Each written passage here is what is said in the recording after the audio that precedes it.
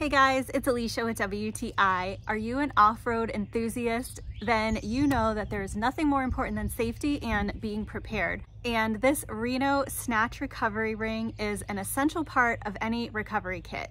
This 7075 aluminum snatch ring is designed to be used with synthetic rope that's under 5 8 inch in diameter. It is lightweight, it's simple to use, and it increases the efficiency of your winch power, which is why we love it. The truck that we use off-road is almost 8,000 pounds, so using this ring as a pulley really helps to take some load off of the winch. Using this ring with heavy-duty soft shackles over a snatch block also increases the safety of a recovery by reducing the risk of the metal snatch block or some other metal parts from breaking loose and hurting someone or something.